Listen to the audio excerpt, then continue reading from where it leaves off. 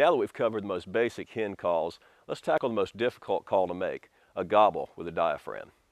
I like a multiple reed call with a lot of cuts in the reeds. Uh, the call you're looking at here is a Thunderstruck by Bloodsport Game Calls. To start with, take the call just like this and put it between your upper lip and your teeth.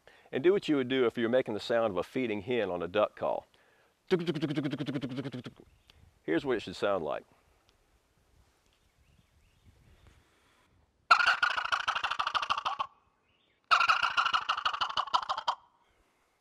Make sure you cup your hands as the gobble progresses so the gobble ends on a low note. Now that we've gone through some calls, let's take to the woods and see if we can fire up an old tom.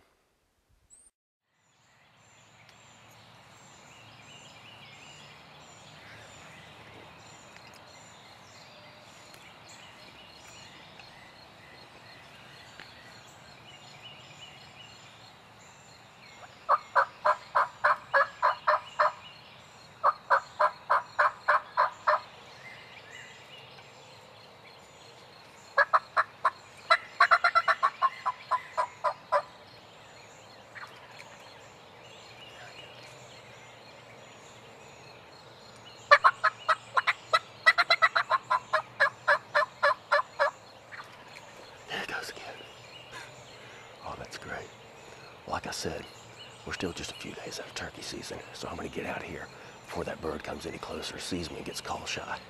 And I'll tell you what, I'll be looking him up on opening morning. Thanks for watching this segment of Wild Tips. Stay wild, Carolina.